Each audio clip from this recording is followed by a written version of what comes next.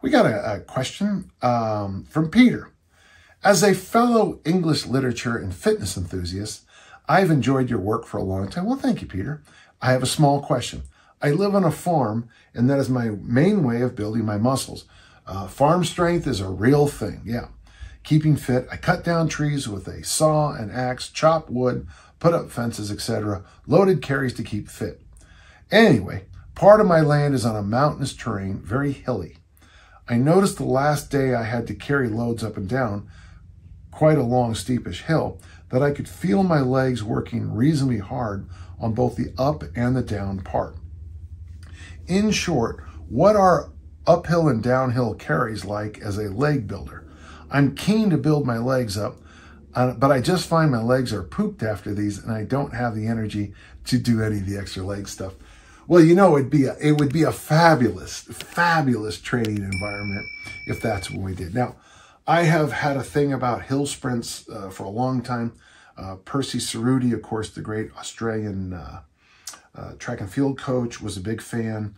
Uh, the 49er, great 49er teams in the 80s, hill sprints were, were money. Now, let me just keep a couple variations of hill sprints. I do think that just carrying a heavy load up a mountainside might be one of the greatest glute workouts a human can do. Okay. Now, walking downhill, and you'll discover this right outside my window here is Mount Olympus uh, here in Utah. I think Mount Olympus is one of the hardest climbs I've ever done because Mount Olympus, no matter how you try to do it, it's basically straight up. And then after you get to the top, no surprises here, straight down. And the next day, your quads are so sore, not from the climb up the hill, but from that braking down the hill. So, okay, now we're just we're just winging this. This is your perfect hill workout. Um, heavy loads up the hill, and then for the glutes, and then going down the hill for the quads. And then we had one more thing that we did at Discus Camp for years. Uh, we, we work with a lot of uh, young female athletes who had knee issues, knee issues from uh, basketball and volleyball, because the tall girls are always kind of pushed into those sports and not into something they do well in, like track and field. Um, uh, walking backwards up hills builds that horseshoe muscle around the knee more than anything I've ever seen. Uh, if you, oh, by the way, I also have an answer if you don't have hills in just a moment.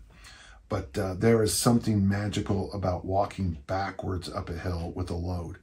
Um, I think it's better than uh, leg extensions or knee extensions. I think they're easier on the whole knee itself.